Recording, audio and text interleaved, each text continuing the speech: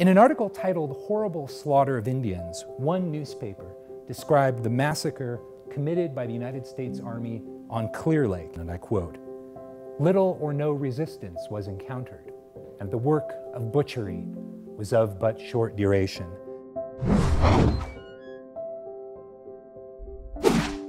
In December of 1849, Pomo and Wappo people were being held as unfree laborers under appalling conditions.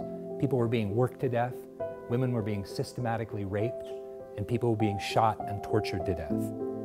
In response to these horrible conditions, they killed the two white ranchers who held them. In response to this double homicide, vigilantes and regular United States Army soldiers killed as many as 1,000 Indian people or more.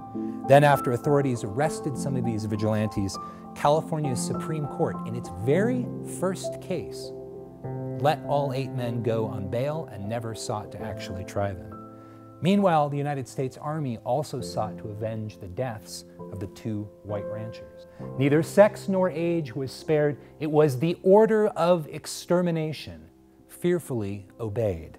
As many as 800 California Indian people died that day. Other killings followed, and the officers involved were not censured.